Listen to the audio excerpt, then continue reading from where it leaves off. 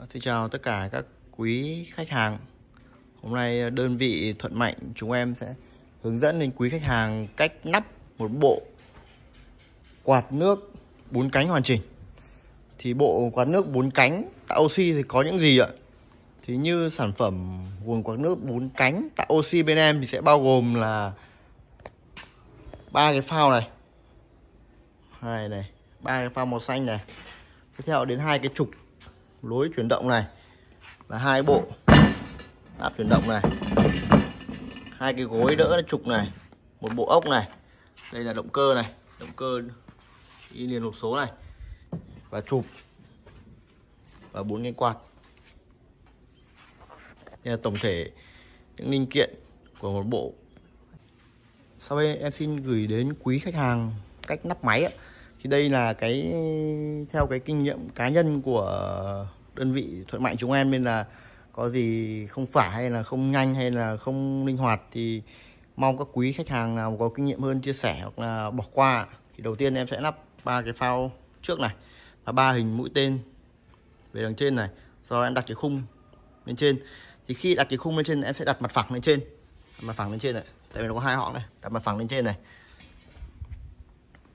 và cái cái, em đã đặt cái phần ốc từ đây này, đến đây này, em có đánh dấu này, phần ngắn này, sẽ về hình mũi tên này, và phần dài này sẽ về đằng sau này. Tại vì sao em đặt như thế ạ? Của hãng một sản phẩm của đơn vị khác thì em không rõ như của đơn vị em ạ, thì nó sẽ quay là ngược theo chiều kim đồng hồ.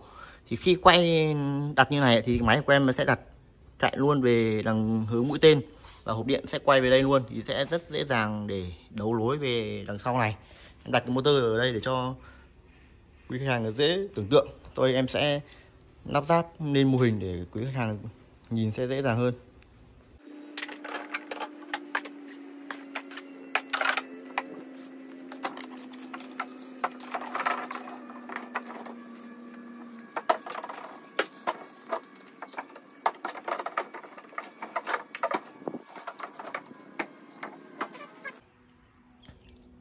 Đây là cái ờ, máy.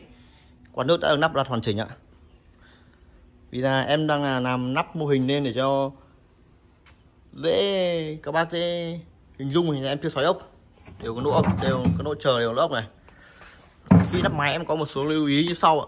Cái quạt từ hãng quạt bên em ạ này là cánh quạt sẽ phải phẩy như này, thì nó dòng nước nó mới khỏe ạ. Và như nắp như này sẽ vẩy về hình mũi tên này. Và có các cái điểm bắt định vị ốc đều có cái g để mình bắt cho chặt ạ. Bất kể một cái nào cũng có. Cánh cũng có này. Bên này cũng có này. Dạ. Và motor thì đây hộp số thì mình nhớ phải đổ dầu ạ. Như có bên em là sẽ đổ từ 0,8 cho đến ờ, 4 lít dầu.